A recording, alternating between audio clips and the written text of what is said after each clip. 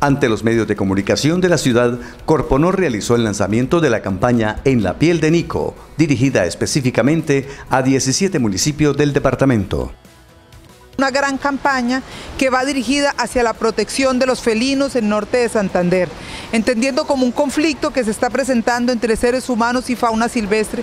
Y lo que queremos con esta campaña es llegar a concientizar a todas las comunidades, no solamente las comunidades rurales, sino a todas las comunidades del departamento norte de Santander, de la importancia de la conservación de la fauna silvestre, de la, de la importancia de la conservación de los ecosistemas en el departamento y de la importancia también de generar estrategias desde todos los aspectos para conservar también todas las especies que habitan, pero también conservar eh, y llevar alternativas para proteger los campesinos de nuestra región.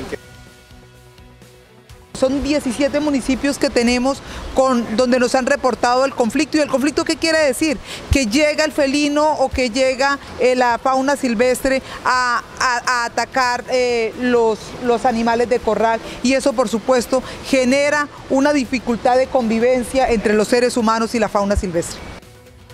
La línea que tenemos de atención de fauna es una línea eh, que permite dar atención a las comunidades para dar orientaciones sobre cómo actuar frente al avistamiento de, esta fauna. Son, eh, digamos que recomendaciones que se dan para salvaguardar eh, las, especies de, de corral, que son las que principalmente se atacan, pero también esta campaña está orientada hacia eliminar tanta desinformación y tanto miedo que se está generando. Esta campaña también está dirigida hacia poder implementar acciones para proteger las comunidades. Si tenemos los campesinos eh, protegidos, si tenemos los campesinos eh, con las necesidades básicas satisfechas, por supuesto que la fauna silvestre y nuestros bosques también van a estar protegidos. Y esta campaña va dirigido también a salvaguardarlos a ellos.